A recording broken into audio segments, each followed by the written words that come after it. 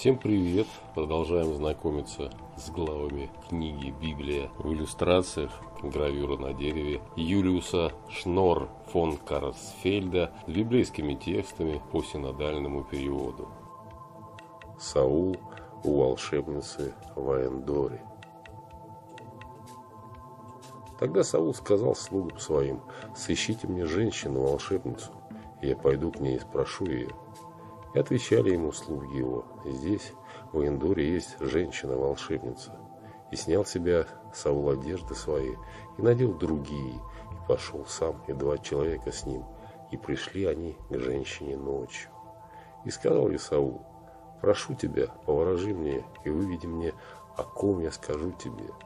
Но женщина отвечала ему, «Ты знаешь, что сделал Саул, как выгнал он из страны волшебников и гадателей?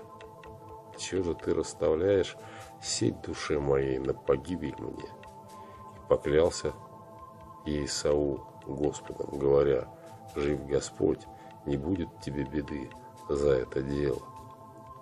Тогда женщина спросила его, «Кого же вывести тебе?» И отвечал он, «Самуила выведи мне». И увидела женщина Самуила и громко вскрикнула. И обратилась женщина к Саулу, говоря, «Зачем ты обманул меня, ты Саул?» И сказал ей царь, «Не бойся, скажи, что ты видишь». И отвечала женщина, «Вижу как бы Бога, выходящего из земли». «Какой он видом?» – спросил у нее Саул. Она сказала, «Выходит из земли муж престарелый, одетый в длинную одежду». Тогда узнал Саул, что это Самуил, и пал лицом на землю и поклонился. И сказал Самуил Саулу, «Для чего же ты тревожишь меня, чтобы я вышел?» Отвечал Саул, «Тяжело мне очень. Филистимляне воюют против меня, а Бог отступил от меня и более не отвечает мне ни через пророков, ни во сне, ни в видении. Потому я вызвал тебя, чтобы ты научил меня, что мне делать».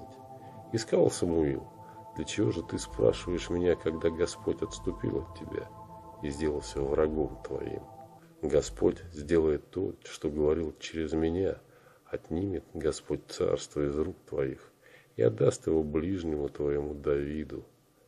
Так как ты не послушал гласа Господня и не выполнил ярости гнева его на Малика, то Господь и делает это над тобою ныне.